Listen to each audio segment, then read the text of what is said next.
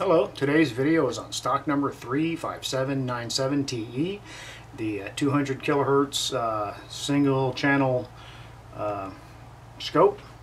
It uh, comes with a plug transformer.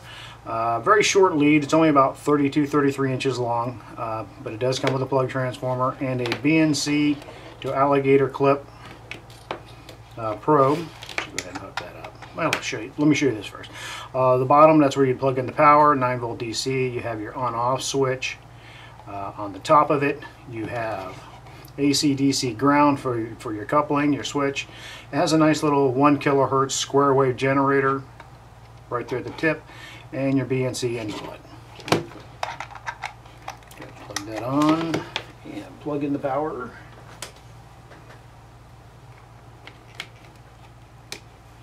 As you can see, it's a nice small handheld unit. These are one inch square, so it's about four inches, four and a half inches, including the uh, the little uh, BNC connector.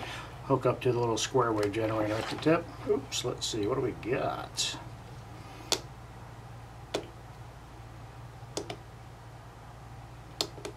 Turn up the, there we go.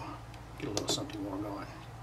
Show you what's going on there. Okay let's see, what can I say? Single channel, 200 kilohertz bandwidth, 12-bit uh, resolution, 50 volt peak input. Uh, it's good for the hobbyists. Uh, it's a low frequency. Uh, it's a very basic scope. Does not have a lot of the features that a obviously a big, more expensive one would have. But it's it's it's a nice little thing to have it have around to use and not worry about losing or getting it damaged let's see here. It has uh, four buttons across it. Uh, this is your your voltage division your time division your trigger set and an OK button. I'll show you what that does in a moment. And it has a rotary encoder and a push button. So the first button is your uh, first button is your voltage divi division I'm sorry. It allows you to set between 5 millivolts all the way up to 20 volts. You press it again and you see you have this nice little, uh, this arrow turns blue. That allows you to set the vertical adjustment on it.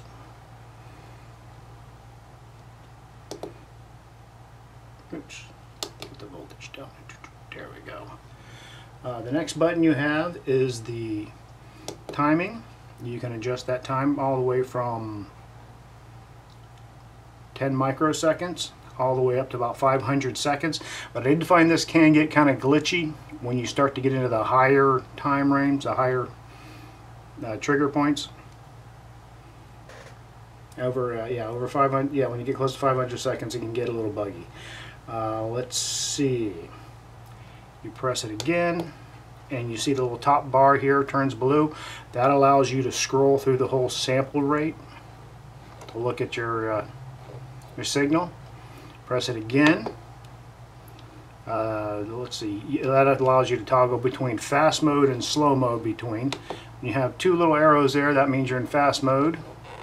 Slide around and look at the, the sample rate and with none it's the slow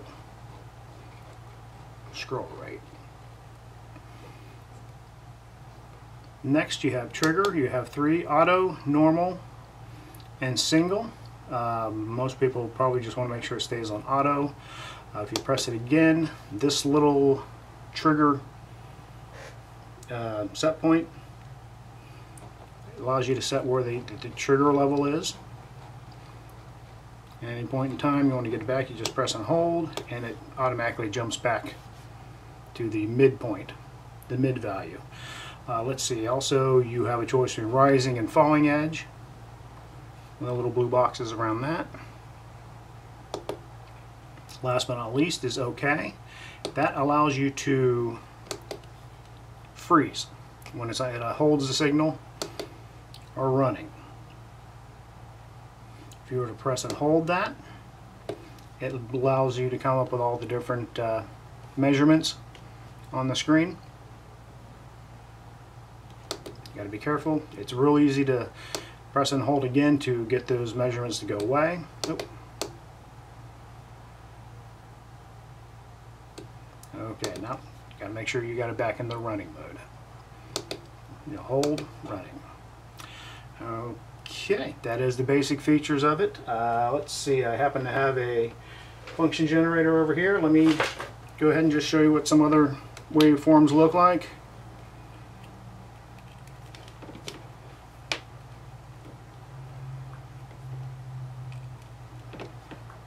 Let me.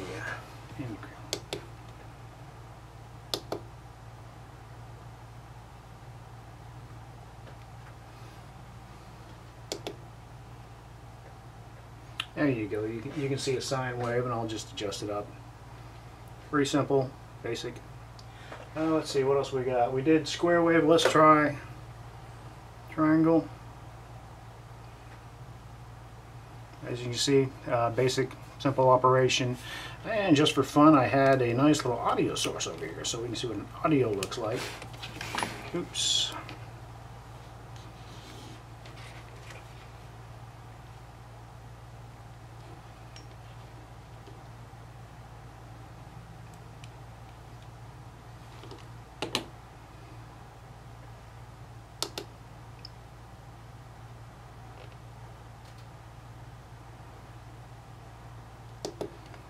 and change it to time. Just to look at it. Looks nice. How about that? An audio source. Okay, that is the basic operations of the units. You have any questions, let us know. Thank you for watching our video.